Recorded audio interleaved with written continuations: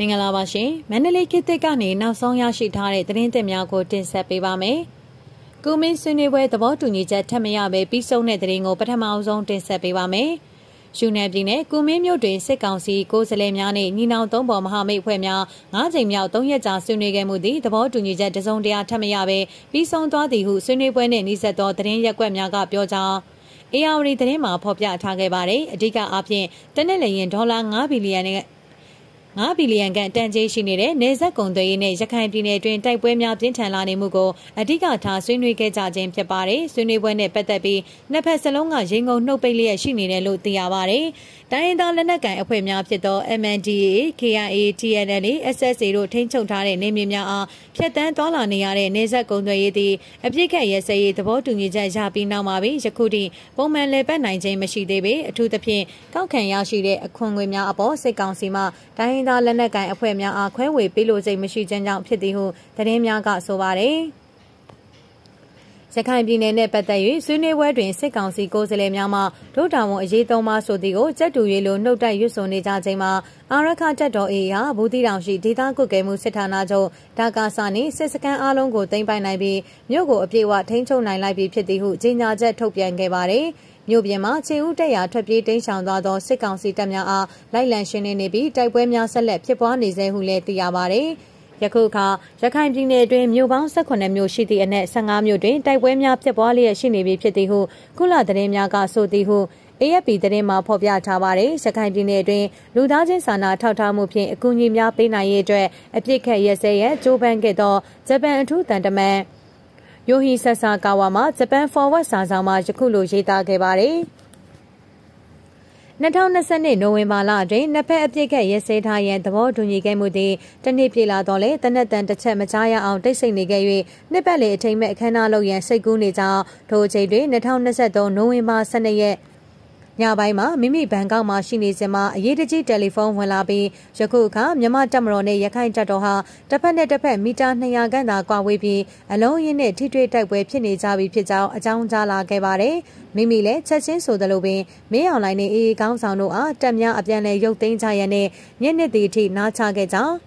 ညနေသည့်အထိနားချခဲ့ကြောင်းသို့တော်လည်းနောက်နေ့မနက်မှာပင်အေးအေးသည်ရဲကင်းစကန်တစ်ခုကိုဝင်ရောက်တိုက်ခိုက်လာခဲ့ခြင်းကြောင့်တနစ်ကြာရရှိခဲ့တဲ့ငြိမ်းချမ်းရေးသည်ညရင်းချင်းပြိုလဲသွားသည့်အတွက်စိတ်မကောင်းဖြစ်ရကြောင်းရေးသားထားပါတယ်မိမိအနေဖြင့်မြန်မာတွင်ငြိမ်းချမ်းရေးရရှိရေးအတွက်မလျှော့သောဇွဲဖြင့်ဆက်၍ကြိုးပမ်းသွားမည်ဖြစ်ကြောင်းလည်း၎င်း၏စောင်းပါမှာပါရှိလာပါတယ်သို့တော်လည်းအေးပြောခွင့်ရဥခိုင်ဒုက္ခမှာပြီးခဲ့တဲ့ဧပြီလအတွင်း၎င်းတို့၏သဘောထားကိုအေယာဝတီတို့ယခုလိုထုတ်ဖော်ပြောဆိုခဲ့ပါတယ် မြန်မာပြည်မှာယခုဖြစ်နေတဲ့စစ်ကဆီယာနာသိန်းအဖွဲ့နဲ့ပြည်သူတွေအကြားတိုက်ပွဲပဲဖက်စစ်အစိုးရမြန်မာမြေပေါ်မော်ကဖယ်ရှားနိုင်မှသာပြည်သူတွေရဲ့အသက်အိုးအိမ်စီစဉ်လုံခြုံမှုရမှာဖြစ်တဲ့ဒါကိုတော့အာမမခံနိုင်ဘူးဆိုရင်လွတ်လပ်မှုလည်းရှိမှာမဟုတ်ဘူးဒါကြောင့်ကျွန်တော်အလေးနဲ့ပြောလိုတာကဆီယာနာပိုင်းတွေအပြီးပိုင်ဖယ်ရှားရှင်းလင်းနိုင်ခြင်းမရှိသေး၍ကျွန်တော်တို့လွတ်လပ်စွာသွာလာနေထိုင်ခွင့်မရှိနိုင်ဘူးဆိုတာပဲဖြစ်တယ်ဟု၎င်းကပြောပါတယ်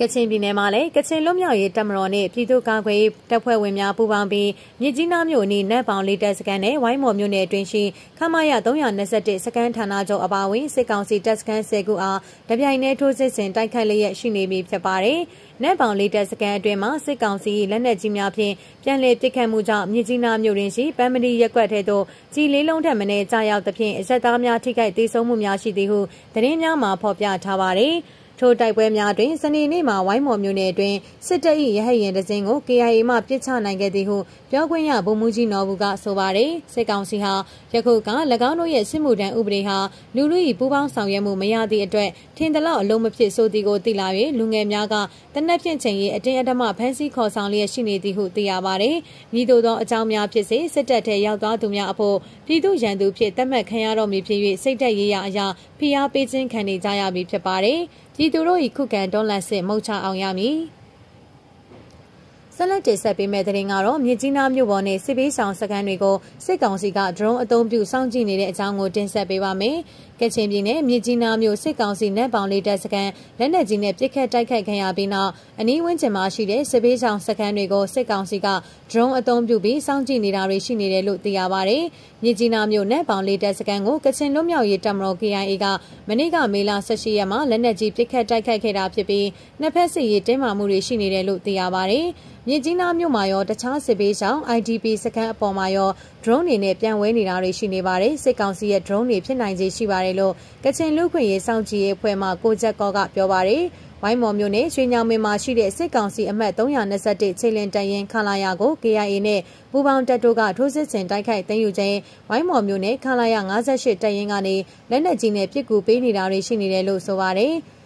တိုက်ပွဲလက်နက်တန်ကတော့နေရာတကာမှာကြားနေတာအခုချိန်နေမှာဝိုင်းမော်မျိုးအနီးမှာချထားတဲ့စစ်ကောင်စီ58တရင်ကနေရွှေညောင်မင်းခလာရ321တရင်ကိုလက်နက်ကြီးနဲ့ပစ်ကူပေးနေတာဟုကိုချက်ကောကပြောပါတယ်ဝိုင်းမော်မျိုးနယ်မှာအခြေစိုက်တပ်ဆွဲထားတဲ့စစ်ကောင်စီတပ်စခန်းတွေကို KIA နဲ့ KPDF တပ်ဖွဲ့တွေကတပြိုင်တည်းထိုးစစ်ဆင်တိုက်ခိုက်နေပြီးတပ်စခန်းတချို့ကိုသိမ်းဆည်းထားနိုင်တယ်လို့စစ်ကောင်စီကလည်းလက်နက်ကြီးပစ်ကူနဲ့လေကြောင်းကနေခုခံတိုက်ခိုက်တာတွေရှိနေကြောင်းသိရှိရပါတယ်။ ဆက်လက်တင်ဆက်ပေးမယ့်သတင်းအကြောင်းကတော့ဖောင်းမြေမြို့မှာကလေးတအုပ်အပါအဝင်ဒေသခံ10ဦးဖမ်းဆီးတပ်ဖြတ်ခံခဲ့ရတဲ့သတင်းကိုတင်ဆက်ပေးပါမယ်။စကိုင်းတိုင်းမော်လိုက်ခရိုင်ဖောင်းမြေမြို့နယ်အင်းဝိုင်းရွာကိုမေလ18ရက်နေ့မနက်ပိုင်းမှာစစ်ကောင်စီတပ်သားတွေဝင်ရောက်စီးနင်းပြီးဒေသခံ10ဦးကိုဖမ်းဆီးတပ်ဖြတ်ခဲ့တယ်လို့စစ်ဘေးဒုက္ခသည်တွေကိုကူညီပေးနေသူတွေနဲ့ဒေသခံတွေကပြောပါရယ်တပ်ဖြတ်ခံရသူတွေဟာအသက်40အရွယ်တွေဖြစ်တဲ့ဦးတန်းလဦးတန်လုံးဦးသိန်းထွန်း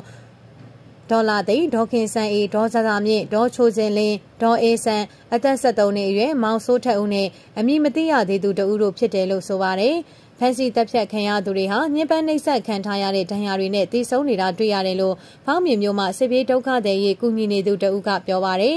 အလောင်းတိုင်းမှာသွေးကြည်ဥနေတာပေါ့ပြောရရင်အသက်မခံရခင်မှာလူတွေကိုအကြိုက်နှိပ်စက်သွားတာပြီးမှတပ်ပစ်ခဲ့တာအလောင်း6လောင်းကိုတော့တနေရာလဲတွေ့တာကျန်တဲ့အလောင်းတွေကတော့ညပိုင်းမှာရှာတွေ့တယ်ဟု၎င်းကပြောပါတယ် တည်ဆုံးသူတွေကိုမလ18ရက်ညပိုင်းမှာပဲတကြိုလိုက်တယ်လို့ဆိုပါတယ်။အင်အား150ခန်းပါစစ်ကြောင်းဟာရွာကို9နိုင်ကြာအောင်ဝင်ရောက်စီးနှင်းခဲ့ပြီးနောက်မေလ18ရက်ညနေပိုင်းမှာအင်းဝိုင်းရွာကနေပြန်လည်ထွက်ခွာသွားတယ်လို့ဒေသခံတွေကပြောပါတယ်။အင်းဝိုင်းရွာမှာတိုက်ပွဲဖြစ်တာမျိုးမရှိဘူးလို့လည်းဒေသခံတွေကဆိုပါတယ်။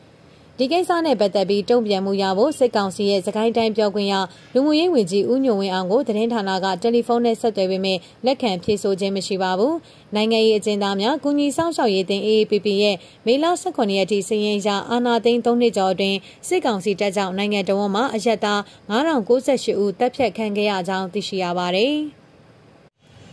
ဆက်လက်တင်ဆက်ပေးမယ့်သတင်းကတော့ဆေးအာနာရှင်ကိုတော်လန်နေသော MSIF နဲ့ MSDF တို့ရဲ့စီးရေးဆိုင်ရာပူးပေါင်းဆောင်ရွက်မည်ဖြစ်ပြီးမွန်ပြည်အခြေစိုက်တပ်များအလုံးအမိန့်တစ်ခုတည်းအောက်မှာစီးရေးပူးပေါင်းနိုင်ရေးစည်းရုံးမည်ဆိုတဲ့သတင်းကိုတင်ဆက်ပေးပါမယ်။ မွန်ပြည်အခြေစိုက်တော်လှန်ရေးတပ်များဖြစ်သည့်မွန်ပြည်ကာကွယ်ရေးတပ် MSIF နှင့်မွန်ပြည်ကာကွယ်ရေးတပ် MSDF တို့စစ်ရေးဆိုင်ရာများအထူးတကွပူးပေါင်းလှုပ်ဆောင်နေပြီဖြစ်ပြီးတပ်နှစ်တပ်ပူးပေါင်း၍အခြားမွန်ပြည်အခြေစိုက်တပ်များကိုလည်းအမိန့်တစ်ခုတည်းအောက်မှာစစ်စင်ရေးများပူးပေါင်းလှုပ်ဆောင်သွားနိုင်ရန်စီယုံမည်ဟု MSIF အဖွဲ့မှပြောရေးဆိုခွင့်တာဝန်ခံနိုင်နဂါကပြောကြားပါရယ်။